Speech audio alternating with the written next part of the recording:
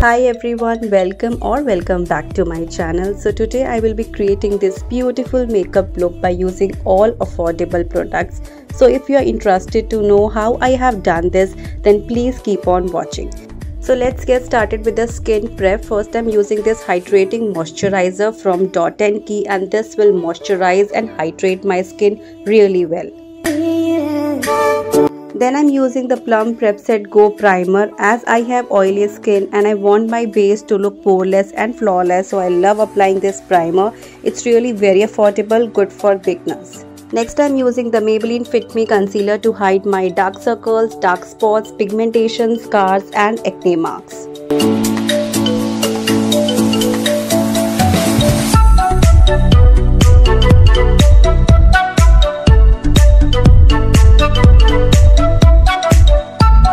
And now I'm using the My Glam Super Serum Foundation and my shade is 301N Biscuit. थोड़ा सा foundation लिया मैंने, अच्छे से हाथ पे स्प्रेड करने के बाद मैं डॉट्स बना रही हूँ। मुझे ना डॉट्स बना के फाउंडेशन लगाना ज़्यादा इजी लगता है और अच्छे से स्प्रेड भी हो जाता है। पूरे फेस पे और नेक पे मैं ऐसे डॉट्स बना लूँगी।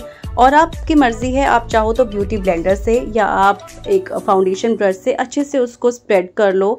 एंड ब्लेंड कर लो और आपका जो ब्यूटी ब्लेंडर है वो डैम्प होना चाहिए, ना कि ज़्यादा वेट और ड्राई तो बिल्कुल भी नहीं होना चाहिए। फाउंडेशन लगा के थोड़ी देर के लिए छोड़ दिया करो। एकदम से कॉम्पैक्ट लगाने की ज़रूरत नहीं है। तो थोड़ा सा टाइम के लिए मैं लगा रही हूँ अभी माइक लैम का lip liner and the shade is burgundy one okay और इससे क्या होगा? फाउंडेशन लगाने के बाद ना अच्छे से सेटल हो जाएगा फेस पे। उसके बाद मैं लगा रही हूँ कॉम्पैक्ट पाउडर तो फाइव मिनट्स का गैप हो गया बीच में। फाउंडेशन अच्छे से मर्ज हो गया स्किन में एब्जॉर्ब हो गया और बिल्कुल भी केकी नहीं लगता। कॉम्पैक्ट पाउडर या लूज पाउडर कोई भी आप ले सकते हो और अच्छे से पूरे फेस पे आप इसे ब्लेंड कर लो, ठीक है? उसके बाद मैं ले रही हूँ शुगर का ब्राउ डिफाइनर आईब्रो पेंसिल और अच्छे से मैं अपनी आईब्रोज को डिफाइन करूँगी। Now time for the eye shadow part और मैं ले रही हूँ लॉरियल पेरेंट्स की कलर हार्मोनी की आई शेडो पैलेट और इसमें से जो ब्लू शेड है ना light blue eye shadow shade है, मैं उसको अपने क्रीस एरिया पे outer section of face area पे अच्छे से ब्लेंड कर रही हूँ। बहुत लाइट सा मैंने आई मेकअप किया है, ज़्यादा नहीं पॉप हो रहा, लेकिन जो कलर्स है ना, वो बहुत like they are very they are matte as well as बहुत अच्छे से ब्लेंड हो रहे हैं पिगमेंटेड बहुत है, बहुत हल्का सा मैंने आई लगाया था। और मैंने लाइट ब्लू और क्रीम शेड लेके ना inner corner of crease area पे मैंने लगाया। उसके बाद मैंने पतला वाला ब्रश लिया, बहुत पतला वाला, और उससे ना जस्ट मैं क्रीज एरिया पे एक लाइन डिफाइन कर रही हूँ। मैंने सिल्वर जो आई शेडो होता है ना, वो लिया है और उससे मैं एक लाइन डिफाइन कर रही हूँ और बहुत ही हल्का सा मेकअप लग रहा है आई मेकअप लुक ज़्यादा भड़का हुआ नहीं है, बहुत ही सिंपल सोबर है और अच्छा लग रहा है। आप इसमें अगर आपके कोई भी अटायर है, उसके हिसाब से आप कलर इसमें चेंज कर सकते हो। मैंने अपनी लोअर आई लैशेस के नीचे भी मैंने अच्छे से पूरा अपना आई मेकअप कंप्लीट कर दिया। काजल लगाई, वो मेरा मिस हो गया था। ऑर्गेनिक हार्वेस्ट की काजल लगाई पिलक्रीम का ब्लू आई लगाया, उसके बाद मैंने अपने आई को कर्ल किया और मुझे फेक आई लगाना बिल्कुल बिल्कुल भी पसंद नहीं है, बहुत भारी भारी लगता है। तो मैंने अच्छे से अपनी आई को कर्ल करके माई ग्लैम का पोपेक्स को मस्कारा लगा लिया और ये मस्कारा वाकई में बहुत अच्छा है।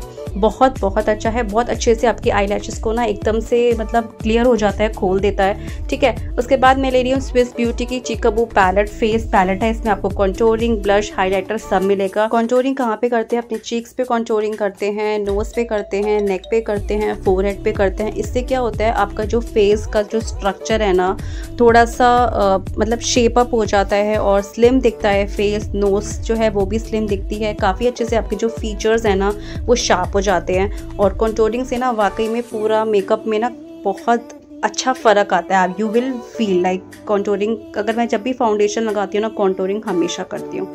ठीक है, अच्छे से मैंने अपने फोरहेड पे भी कॉन्टोरिंग कर दी। उसके बाद हम लगाते हैं ब्लश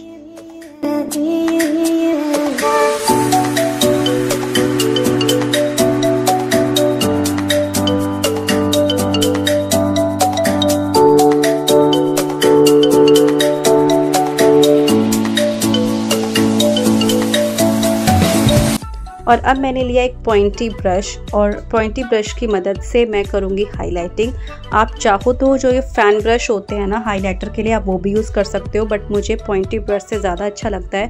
नोज़ के सेंटर पे मैं करूँगी हाईलाइटिंग बहुत अच्छे से आराम से हो जाती है। जहाँ पे मैंने कंटोरिंग करी थी, उसके बीच में मैं करूँगी हाईलाइटिंग अपनी चीक्स पे हल्का सा हाईलाइटर लगाया।